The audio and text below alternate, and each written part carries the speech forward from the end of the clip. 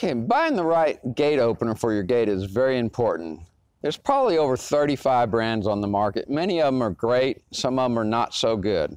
The main thing you want to look for is what we call long arm opener.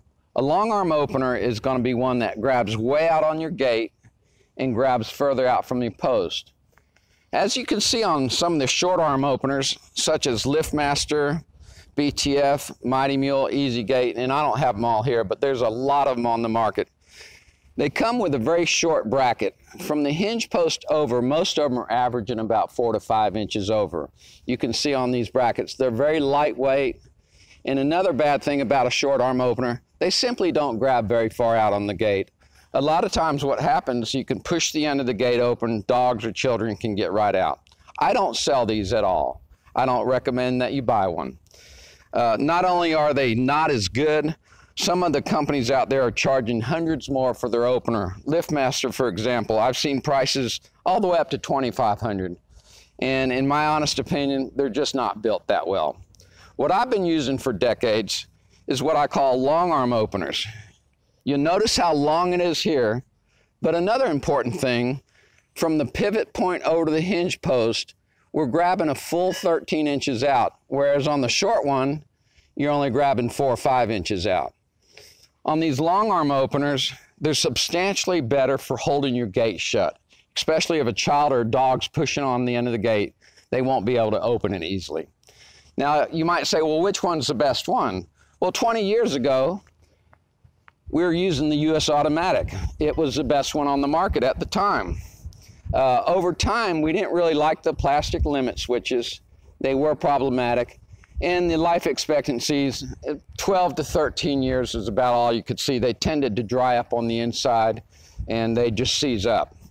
So about a decade ago we went to apollo. Apollo got bought out by nice and ice same company. And this was our go-to operator starting about 10 years ago. And it was considerably better than this one.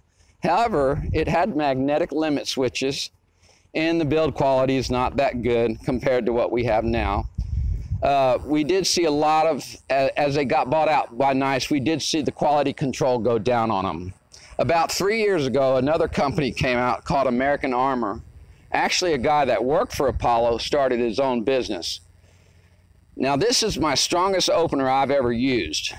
It's 5 eighths here, and as you can see on these shorter arm openers, very thin metal down to about 1 eighth. This thing's built like a tank. I also custom build my brackets. They're much heavier than stock. They grab further out. And also another nice feature, they have an aluminum black anodized tube. So the tube actually disappears with gate rail.